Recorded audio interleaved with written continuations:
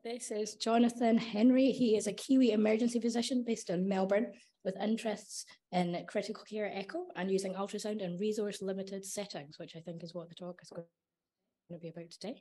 So if we welcome him.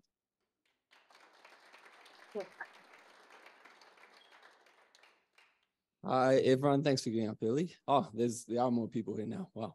Um, and thank you very much for the opportunity to talk on a topic that uh, I find really fascinating and enjoyable to be involved in, which is POCUS in resource limited settings. So, you know, this term uh, resource limited settings is something that we all intuitively understand, you know, even working in our Australasian and Kiwi EDs, uh, you know, whether the resources are bed space, you know, bed block, access to imaging, sonographers going home at 5 p.m. You know, we can all, we all intuitively kind of understand how POCUS can often kind of fill that gap because uh, it's something that we can really control ourselves. Um, when I'm using this term, I'm sort of talking about using uh, POCUS in low middle income countries. But also, like all of us sitting at the front here, you know, there's a lot of overlap between pre-hospital ultrasound, uh, rural and remote, you know, and we heard about Gaynor going to Antarctica, which sounds amazing. So sort of austere POCUS, you might call it. And uh, is Gillian still here? Uh, so awesome that you've um, stayed for the conference and being involved in our little community. Um, you know, it's been a bit of a thread running through the conference, like, you know, hearing about system factors and guideline factors that lead to sort of inequity and access to ultrasound. And then we heard from Jed about how uh, South Africa has gone through their POCUS journey. But um, my journey sort of started uh, right after my ED registrar training. I thought I really want to get some global health experience. So I toddled off to Vanuatu with my little um, M Turbo with the ripped bag there. So I was always sort of scurrying up and down this little hill um, when the nurses are calling with a sick patient, scanning, uh, you know, scanning pathology. And I was lucky that there's a lot of junior doctors at this hospital, Northern Provincial Hospital I was at um, for six months. And I was really able to um, do a lot of education with them. Um, and yeah, I had a great time, you know, uh, one of those eh, formative experiences in life that you, you know, I, I know that many people in this room have had uh, a lot of global health experiences like this. Um, but I'll, I'll, vividly remember this one conversation I had with the Dr. Ryan. We'd had some amazing experiences. Like once I'd been standing over his shoulder when he'd diagnosed a ruptured ectopic in a really sick patient. Uh, they'd rushed them around to theatre. She'd survived. And sort of as I was leaving, he's like, "Oh, John, what are you going? You know, you're taking ultrasound away. Uh, what next?" And I sort of said, "Look, you know, we'll come back. you know, we'll we'll um, get you guys some handheld ultrasounds. Um, we'll upskill you." And he's like, "Okay, great." And then I walked away and I thought, "Why on earth did I say that? Like, I've, how on earth am I going to follow through with that promise?" Um, and then luckily COVID happened, so that gave me a bit of um, breathing room. But eventually I thought, you know, let's um, make this happen. And I thought, what does um, the POCUS world need? Another acronym. Um, we came up with PEARLS, uh, which obviously it's in the name. And, and I should say thank you very much to um, eMugs and Kian actually designed this logo. And Stacey really helped me at the start of this whole thing, um, sort of building the vision for it. So we uh, logically started back in Vanuatu in August of last year. And you recognize um, familiar faces Joe, Mick Killeen, and my colleague um, Dasim Haji. We traveled there pretty much when the borders opened uh, after COVID. So we took 10 handheld ultrasound probes um, and trained up 10 learners. The course format, you know, it's not rocket science. It it um, really I designed this based on my personal experience there, what I felt had the highest utility. Um, and like Jed was telling us, you know, uh, no good um, diagnosing aortic dissections when you don't have a, a, surgeon on site that can help. So really, I tried to, you know, target the highest yield um, things that for which there were management options locally. Of course, we started with um, exploring Vanuatu's beautiful blue holes, getting out into nature. And um, bit of a cautionary tale if you, um, uh, those of you who've traveled around Melanesia, you better get used to spending some time in kava bars. Um, maybe don't drink too many uh, the night before your your the first day of your course. Um, but yeah, that's us just um, getting out there with the locals. But of course, we did some work too. So here's Joe, um, you know, teaching the learners here. Um, really, you know, really how we run the course is no different from how, you know, we all uh, run courses, what we're familiar with. This is, uh, we made our phantoms using tofu because we couldn't find really chunky um, chicken breasts, which was, was our plan A. um, and yeah, all of you guys are familiar with the butterfly uh, probe, which can plug into the smartphone or the tablet. Um, we don't have a like a formal affiliation with Butterfly. It's just kind of how it's panned out so far. So after the three day course, um, you know, I really strongly felt that we should have some longevity to the program. And luckily, we had uh, complimentary access to Butterfly's cloud. So the yes, there's some issues with Wi-Fi access, etc., but the learners had their phone um, and their probe, and they could start uploading to the cloud. And, and I'll just click through so this is this is the perspective if um, from our Pearls image reviewers. If you're um, looking on your phone at the cloud, um, you can sort of pick the correct archive that you're hoping to um, hoping to review. Uh, you'll see, yeah, yeah, you, you, it's obvious. You, you're going to pick your scan that you're going to um, review your studies come up, um, you notice the, the little comments that might have already been made on that study. So click on this, you're seeing a bit of free fluid. You notice um, Gabby has already um, had a bit of back and forth with one of the learners, um, learning conversation. Keep flicking through the images. Um, and then you might come across a study that you want to comment on. Uh, put a little, uh, I'm a big fan of emojis in the comments, by the way. Um, coming up here, there we go. Keep it positive always is my other philosophy. So yeah, um, that's that's our kind of um, model of ongoing feedback that we can provide the learners. And this will this comment will ping up on their phone um, hopefully, we can provide that feedback rapidly because I, I, feel that immediacy is important, um, a really important part of feedback. You know, they'll have forgotten the case within two or three days, but if we can be rapid with our feedback, I think that's really valuable. So, having finished in Vanuatu, we thought, well, where to next? And um, Gabby put her hand up and said, we'd really like to take the same model to Tonga. You see the familiar faces there as well. Owen in the back there. Um, Joe went back. Gabby, Mike Nichols from Auckland, and Susie Hamilton from Christchurch. So it was really a sort of um, nexus at Auckland ED, um, which already had a strong connection to Tonga via Mike. Um, and yeah, yeah, it sounded like again really incredible um, course. They had a very sort of multi-specialty group of learners across from surgical and O&G, and it sounded like a really positive um, sort of collaborative experience uh, that you can ask Gabby all about.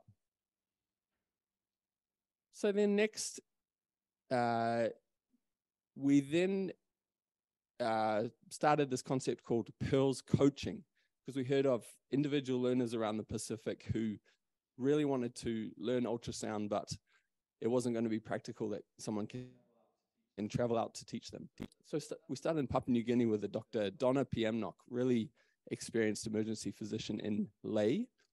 And we connected her with the ultrasound fellow at place I work, Frankston, um, Elise Pasco. And um, with through some trial and error, Zoom calls, resource sharing, um, we started to upskill Donna in the use of ultrasound. And of course, you can all imagine the pathology in Papua New Guinea, high prevalence of HIV, TB, trauma, delayed presentations to hospital. Um, and so, you know, as you can imagine, a lot of the images coming through the cloud are just incredible things that we've never seen before. I've never seen before. Next up, Kiribati. So I don't know if you guys have heard of Brady Tassaka. He's a FACEM from Tasmania. He's got a strong connection to Kiribati. Uh, and he traveled there for a month just a couple months ago. He took two butterflies with him and he intentionally, um, I don't think he considered himself a POCUS um, expert before going, but he intentionally upskilled in ultrasound before traveling there. During his month, he spent a lot of time um, teaching uh, Dr. Tabutoa and Tianako. And in addition, we linked him with two clinicians from Christchurch. Uh, you guys might know Jacques Lubzer and the sonographer Josie McFarlane. So they they sort of gave a remote Pearls coaching um, backup uh, while Brady was on the ground, um, able to you know. It's sort of like a more of a hybrid model, and I think it turned out really successful. They're putting a lot of effort, and those two learners uh, are still really, really engaged um, after Brady's trip. Fiji, um, I just mentioned Fiji because two of the Vanuatu ED registrars have now traveled to Fiji with their probes. Turns out um, Fiji has a pretty thriving POCUS community. Probably a, a lot of you would um, know that. I know Chris has um, spent some time there, and Joe has just recently um, uh, delivered a course there. But I think they even have a lot of homegrown self-run courses that are happening in Fiji and EDs. In Samoa, there was a probe donated to a Dr.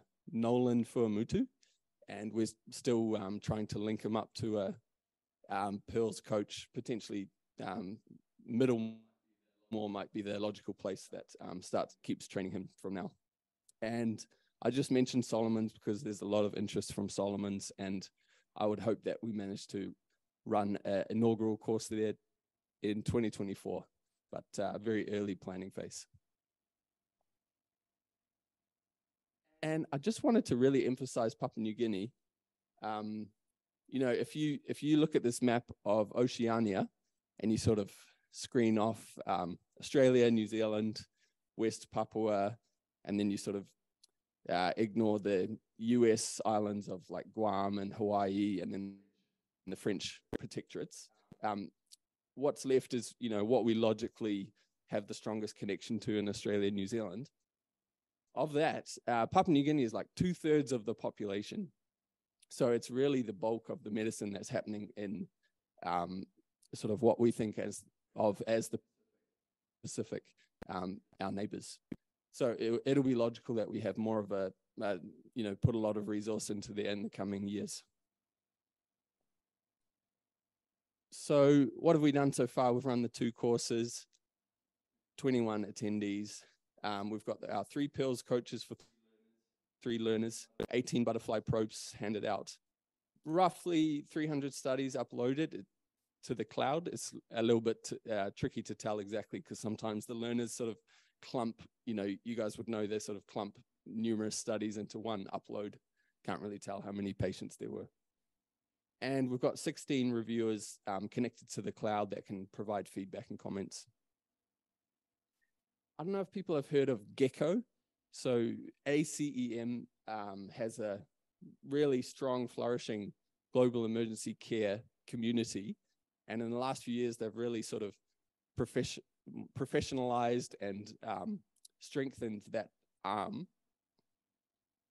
Uh, on this map, there's uh, there's sort of a map of all the global health work that ACEM is involved in. And I'll just draw your attention to the red um, dots. these are countries where there's a specific person, like, for example, Mike Nichols, where they call them a country liaison representative. And they should be there coordinating um, all the global emergency care work that's happening between Australia, and New Zealand, and the country. So I've just really, I find it, um, I think it's really important that we coordinate any activities through these people.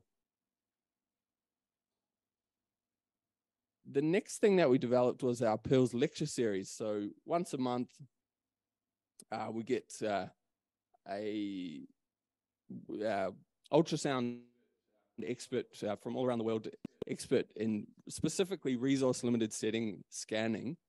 Um, and they do a Zoom lecture and we connect the learners. It's something that sort of provides a bit more continuity post course. Um, this is the uh, this is the list so far. We started with Temesgen, who again has that really strong eMugs links, uh, link, which was really great. You might notice um, Tom Heller talked to us about the FASH exam. Um, that was exciting because he created the FASH exam. Uh, that's a, that's a sort of a, a medical use of the FAST exam, looking for um, uh, evidence of TB associated HIV, HIV associated TB. And Martin uh, Nikas gave us a talk the other day, which was amazing. Everything is uploaded to YouTube as well. So even if you can't make the um, lecture, you can watch along. Next up, Casey and uh, Dr. Eki will be um, speaking to us. So I really feel that, you know, in this room, there's just so much experience. A lot of you guys have got had a lot of global health experience as well. At this moment, that within Pearls, I'm just going to list off the things that, um, you know, potentially some of you maybe be able to contribute. Um, if we're going to go into a new country and deliver a course, it is a, a decent amount of effort, and you sort of need a single champion that's going to drive it, organize it. You don't have to do the whole job yourself, obviously, but someone needs to direct it and then maintain continuity um, for long-term follow-up. And again, talk to Gabby about that process in Tonga. Challenging, a lot of work, but extremely rewarding.